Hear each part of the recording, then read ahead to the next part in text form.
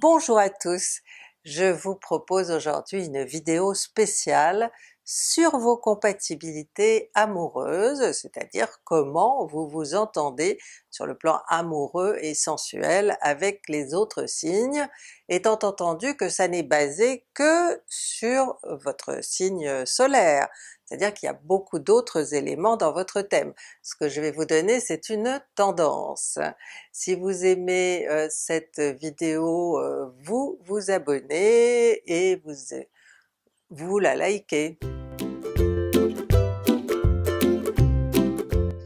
Verseau et Bélier, eh ben ça s'entend bien. Ce sont deux signes qui euh, sont tous les deux euh, rapides, créatifs, euh, avec une forme d'originalité. Alors le Bélier était peut-être un peu plus autoritaire que le Verseau, mais le Verseau est beaucoup plus impatient que le Bélier qui est déjà très impatient. Donc vous êtes un couple, vous savez, euh, comme Superman et Lois Clark quoi, hein. vous volez dans les airs, vous allez à toute vitesse et euh, bon, vous êtes vraiment euh, un couple qui va attirer l'attention des autres tellement vous serez originaux, et la sexualité va très bien fonctionner, mais ça, ça dépend vraiment d'autres facteurs, mais je dis que a priori, vu l'entente qui est entre vous, ça peut très bien fonctionner. Verseau et Taureau, euh, là je suis moins sûre que ça puisse fonctionner, euh, tout simplement parce que avec le Taureau vous avez affaire à un signe euh, qui est un petit peu jaloux et possessif, Or vous, bah, vous n'aimez pas qu'on vous mette en cage, vous aimez avoir votre liberté, votre indépendance, et le Taureau va peser sur vous, il va avoir peur que vous lui échappiez, étant donné que vous avez justement cette indépendance, et donc euh, bon, alors autant vous pouvez être attirés l'un par l'autre, ça, ça n'empêche rien, mais euh, sur la longueur, je ne suis pas sûre que votre couple puisse euh, vraiment fonctionner, même si sexuellement ça marche bien, ça il n'y a pas de problème, le Taureau est très réputé hein, dans ce domaine, et bah, le Verseau il va suivre, il sera même très content de découvrir euh, plein de choses de sa sensualité grâce euh, au Taureau. Verseau et Gémeaux, pas de problème, vous êtes deux signes d'air, vous avez euh, le côté intellectuel hein, de la relation qui va très bien fonctionner, vous allez beaucoup tchatcher, beaucoup euh, parler euh, de l'actualité, vous serez vraiment en osmose hein, dans, dans, ce domaine et vous aurez les, à peu près, peut-être pas les mêmes idées sur tout, mais vous, vous aurez la discussion facile et pas des discussions où tout le monde va avoir raison, hein, mais vraiment des discussions qui seront des vrais échanges, où vous échangerez des idées et où vous vous apporterez l'un à l'autre. Alors dans ce registre-là, c'est sûr que il y a peut-être moins de place euh, pour la sexualité parce que quand il y a trop de mental, bah le corps hein, euh, il est moins présent, il s'exprime moins, euh. donc à mon avis côté sexualité ça peut très bien marcher dans un premier temps, mais ensuite ça prendra du recul hein, au profit de l'entente intellectuelle. Verseau et Cancer. Alors là c'est un peu la grande inconnue parce que euh, euh, le Cancer est un grand sensible et vous, vous n'êtes pas un grand sensible, vous êtes un anxieux, hein, ça c'est sûr, un angoissé, mais ça n'a rien à voir avec euh, la sensibilité. Alors le Cancer peut effectivement, si vous vous absorbez un petit peu de, sa nature, euh, peut vous apporter euh, cette sensibilité qui vous manque, hein, et qui, enfin, je sais pas qu'elle vous manque, mais elle, est euh, un petit peu, comment dire, pas dissimulée, mais vous la protégez, voilà. Et le cancer, qui est un spécialiste de la protection, protection peut vous aider justement à, vous avoir moins peur hein, de ce monde émotionnel, et c'est un, sensuel, donc euh, il vous apportera aussi euh, quelque chose sur le plan euh, sexuel, ça pourrait assez bien marcher entre vous. Verseau et Lion, signes opposés sur la roue du zodiaque, donc a priori le Lion a tout ce qui vous manque et il admire lui le Verseau. sauf que ça marche, ça c'est sur le papier, et que dans la réalité ça marche pas toujours comme ça. En fait, bon, vous allez tomber sur quelqu'un d'un petit peu orgueilleux, hein, le lion, euh, que dont vous allez admirer, hein, ça c'est sûr, la classe, la loyauté, le côté brillant, euh, mais est-ce que vous... il y a un moment ou un autre où vous allez décrocher et où vous allez dire, vous dire tout ça c'est un rôle que joue le lion? Vous aurez vite cette impression qu'il joue un rôle. sexuellement, je ne suis pas sûre que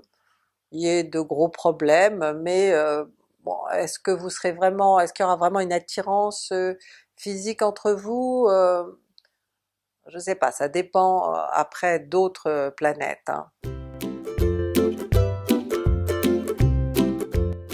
Verseau et Vierge, j'ai une petite réticence. étant donné que la Vierge est quand même beaucoup dans le contrôle, euh, c'est un signe qui ne se laisse pas facilement aller, euh, vous Verseau, vous serez vite un, petit peu énervé, un petit peu agacé euh, par cette retenue, cette réserve, euh, euh, vous lui direz bon allez lâche-toi quand même, vous aurez l'impression que je sais pas, vous serez énervé hein, par cette Vierge qui en même temps peut vous attirer parce qu'elle a des côtés euh, qui vous manquent, hein, ça c'est sûr, un côté très organisé, très analytique, très euh, comment dire, je veux dire, il y a un esprit,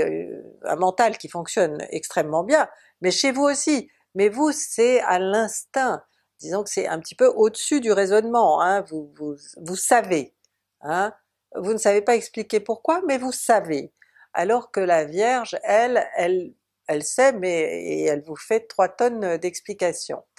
Euh, donc tout ça étant très intellectuel, euh, côté sexe, euh, je pas, je, parie pas trop dessus. Verseau Balance, ça peut être un très joli couple, dans la mesure où euh, bah, la Balance c'est comme vous un signe d'air euh, qui aime euh, tout ce qui est un petit peu intellectuel, mais qui a ce côté très artiste, très créatif, que vous allez trouver formidable. Elle a un côté bohème aussi que vous allez bien aimer parce que vous n'aimez pas tout ce qui est trop conventionnel. Cela dit, c'est trop beau sur le papier pour que ça fonctionne aussi bien euh, dans la réalité. Euh, parce que bon, la Balance elle est hésitante, elle n'aime pas prendre des décisions ni faire des choix, et vous, alors ça, ça va vous énerver, euh, mais très rapidement. Hein. Côté sexe, alors là ça devrait bien fonctionner, et c'est même à mon avis le, le, lien fort qui peut tenir, faire tenir votre couple. Verseau et Scorpion, euh, ça va pas être facile, hein, je vous le dis tout de suite. Euh, euh, vous aimez bien, bon vous pouvez être attiré hein, par le Scorpion parce que c'est un signe très magnétique, hein, qui a la réputation d'ailleurs d'être, comment dire, d'avoir une sexualité extrêmement forte. Euh, donc vous pouvez être attiré par le Scorpion, et puis très vite vous vous rendrez compte que il est possessif, jaloux, euh, angoissé à l'idée de que vous puissiez le trahir, et tout ça euh, crée, met des barreaux d'une certaine manière à votre vie, vous, vous met un petit peu en prison. Donc il faudra, si vous voulez bien vous entendre, trouver un moyen terme et, et faire en sorte que le, euh, que, le Scorpion euh, apprenne euh, quelque chose de vous au niveau de la liberté qu'il faut laisser à l'autre pour qu'il existe. Verseau et Sagittaire, très bonne, très bonne union, hein. vous avez vraiment beaucoup de choses en commun. le Sagittaire occupe d'ailleurs un, secteur de votre ciel qui vous ressemble, qui est un secteur d'anticipation, vous êtes le signe de l'anticipation, euh, vous aimez euh, vous projeter beaucoup euh, dans l'avenir, hein. et ben, le Sagittaire il vous accompagne, hein, là de ce côté-là, il s'adapte, il aime cette idée de, projection dans l'avenir, et donc de projets que vous pouvez faire tous les deux, vous serez vraiment un, couple qui va faire des projets, si vous vous mettez en couple, hein, parce que le Verseau,